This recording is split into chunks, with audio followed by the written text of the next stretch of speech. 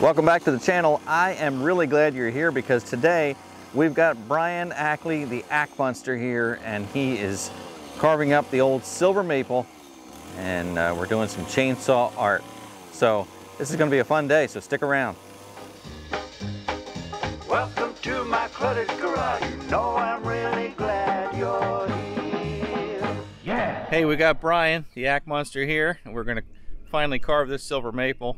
Brian, I appreciate you coming out today. It really means a lot to, to have you here. You are Thank you for having me. you are a renowned chainsaw. What do you call yourself? Chainsaw artist? I'm a chainsaw artist, uh, otherwise known as your friendly neighborhood chainsaw carver. that My he is. professional name is Ack Monster, and if you want to look up the web page, it's Ack Monsters Chainsaw Art on Facebook or Instagram. Awesome. Well, I'm excited to see what you do here. We've talked about, you know, putting some wildlife uh, carvings in here, and I can't really, you know, I don't have the eye for it. I, I kind of know what I've seen your work, which is amazing, and I just think anything you do is going to be fantastic. Well, we can hope for the best and hope we don't get hurt and we don't disturb the frogs that's what's in this tree. That's right. Yeah, we found a little a little family of uh, tree frogs in a hole, so we're going to steer clear of that. All right, let's see what happens. All right, let's start making noise. Thanks, Brian. Got the tools of the trade. All right, we have normal chainsaws that I, I use. These are just your regular Harry homeowner saws, the one at your feet. Those are uh, 661s. They're one of the larger saws that they make.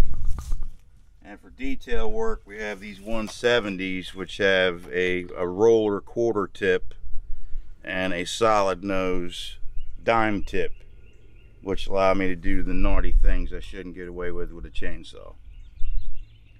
Both of these have uh, special sprockets on them to run this type of chain. You cannot run regular uh, 3 8 low profile chain on these sprockets.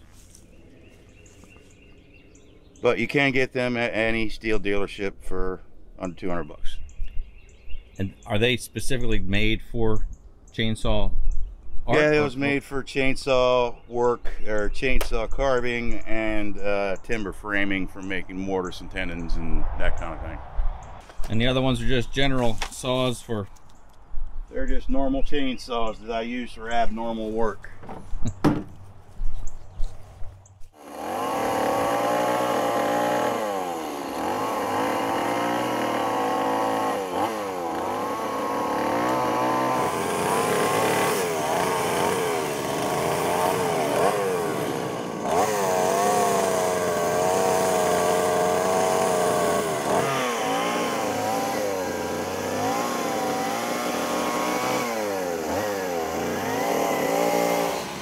Right now, he's starting at the top. He's up on the scaffolding, so I'll try and get some close-ups once he gets down at ground level.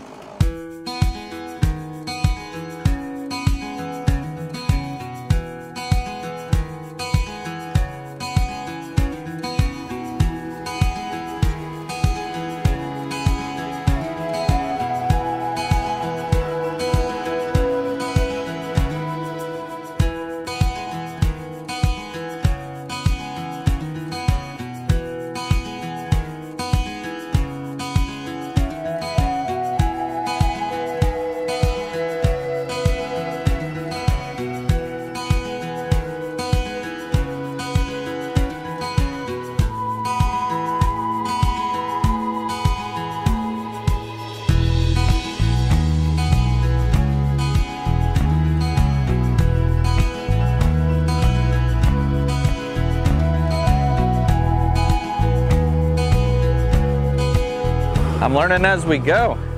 So Brian uses a combination of gas, electric, fire, all the coolest tools.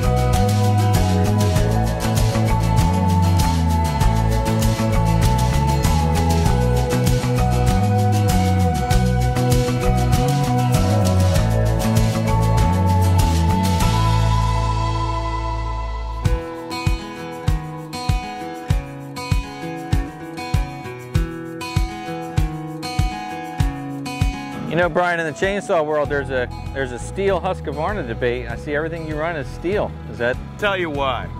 Tell the us. dealer was three miles away from my shop.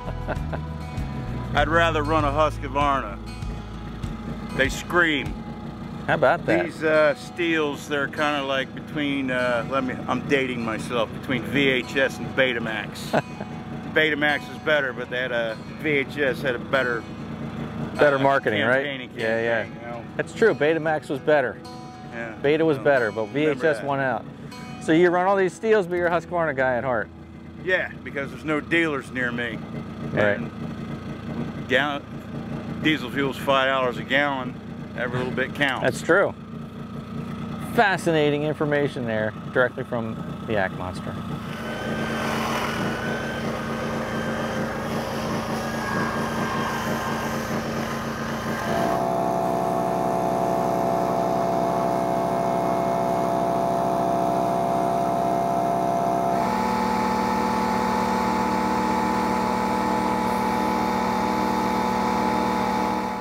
So this was a great day watching Brian, the Ack Monster, doing your fantabulous work here on the Hobbit and the door and the other items.